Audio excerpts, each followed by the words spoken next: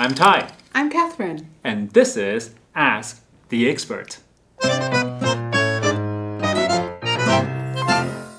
Today's topic is one that I hear all the time.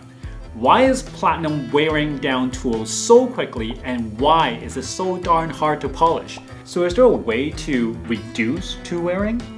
Yes, absolutely. There are many small things that can be done. You can reduce the cutting speed, you can use coolants and lubricants, you can use intelligent tool design. All these things have a great impact, but of course the most important one is use an alloy that is hard enough because that is really the ticket to get crisp results. Now we've been talking about this for weeks. Just use a harder platinum for CNC and you solve a lot of the problems.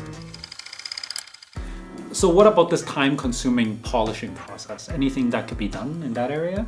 Okay, absolutely. One of the things you can do is you can use heat-treatable platinum alloys. The other thing is you can use burnishing. And burnishing you can do in various ways. You can do hand burnishing or you can use automation in a tumble burnishing. Wait a minute, you talked about tumbling. I thought that was only workable for polishing for other precious metals, not, it can't be done for platinum. Well, the, you have to distinguish between platinum uh, burnishing and platinum polishing in a tumbler.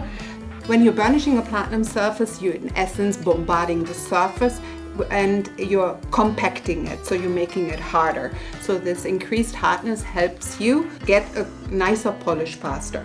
So it's like hammering the surface to get the surface to be a little bit harder. Right, it's really like an intense surface right. uh, treatment and that allows you to automate and rather than having people with a hand burnisher spending a lot of time to densify the surface, you are using the steel balls to hammer the platinum down a little bit and to give it the hardness that you need for the polishing process. Platinum is hard to work with because it's very gummy. So if you want to reduce complexity and the processing time, then two of the things that will help you is A, using a harder platinum, and secondly, use burnishing to cut down the labor time. You asked the expert and the expert has spoken.